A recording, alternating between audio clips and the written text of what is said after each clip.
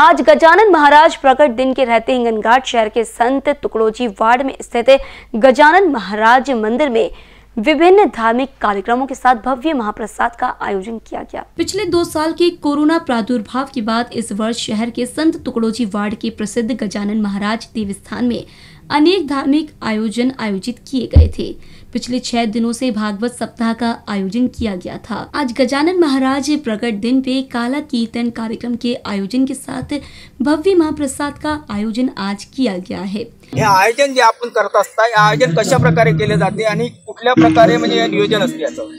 आमची जी कमिटी आहे उत्सव समिती उत्सव समितीच्या मार्फत आम्ही जवळजवळ इथे तीस सद सदस्य आहोत.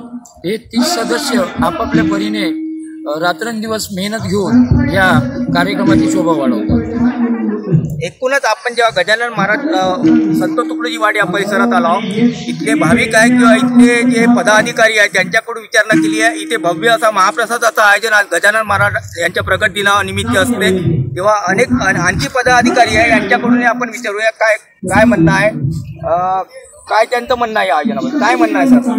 अ, गेल्या वीस वर्षापासून या ठिकाणी हा अव्याहतपणे अ, गजानन महाराजांचा उत्सव संपन्न होत आहे. मध्यंतरी दोन वर्षाच्या क- कोरोना काळामध्ये थोडं अ, म्हणजे याचं आयोजन अ, या महाप्रसादाला आज किती भाविक येण्याची अ, म्हणजे आपल्याला अ, माहिती आहे किंवा किती भाविक येणार आहे? अ, जवळजवळ अ, आठ हजार ते नऊ हजार अ, क- म्हणजे भाविक या ठिकाणी महाप्रसादाला उपस्थित असतात. हे आयोजन कशा प्रकारे राहणार आहे? संध्याकाळला.